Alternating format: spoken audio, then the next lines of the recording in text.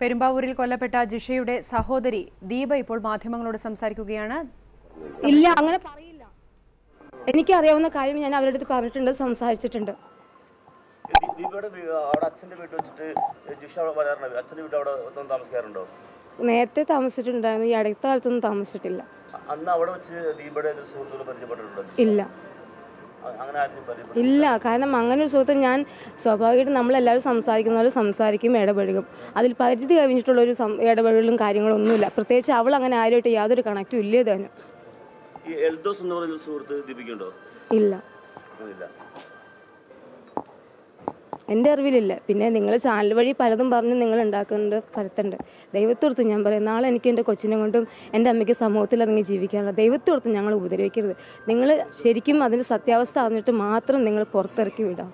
ജിഷിക്ക് ഏതെങ്കിലും തരത്തിലുള്ള ഒരു ത്രെട്ടോ ഏതെങ്കിലും ആരെങ്കിലും ഭീഷണിപ്പെടുത്തിയതായിട്ട് ദീപക്ക് അറിയാമോ ഇല്ല. അങ്ങനെ അങ്ങനെ ഏതെങ്കിലും നാട്ട് അയൽവാസികളോ അല്ലെങ്കിൽ വേറെ കൂട്ടുകാരോ ആരെങ്കിലും എല്ലായിടത്തുള്ള ചുറ്റുവട്ടത്തുള്ള ആൾക്കാർ ഞങ്ങൾക്ക് ബുദ്ധിമുട്ടായിരുന്നുള്ള കാര്യം എനിക്കറിയാം. അല്ലാതെ മറ്റുള്ള കാര്യങ്ങളെ കുറിച്ച് എനിക്ക് അറിഞ്ഞുകൂടാ. അങ്ങനെ എവിടെന്നെങ്കിലും ഭീഷണി ഉള്ളതായിട്ട് ദീപിക അറിയാമോ? അതൊന്നും ചോദിച്ചാൽ എനിക്കറിയില്ല. എപ്പോഴും ജിഷ ഇതേക്കുറിച്ച് എന്തെങ്കിലും സംസാരിച്ചിട്ടുണ്ടോ? അങ്ങനെ എന്തെങ്കിലും ഇത്തരം കാര്യങ്ങളോ ഞാനും പറഞ്ഞില്ല ഞാനിപ്പോൾ ഒന്നൊന്നര വർഷത്തിനിടയ്ക്ക് ഈ കുറച്ച് ദിവസങ്ങളായാലും ഞാൻ വീട്ടിൽ പോയിട്ടും ഞാൻ തന്നെ സംസാരിക്കുകയും ചെയ്യണം അതിക്ക് മുമ്പുള്ള കാര്യങ്ങൾ ചോദിച്ചാൽ എനിക്ക് അറിയില്ല ശരി.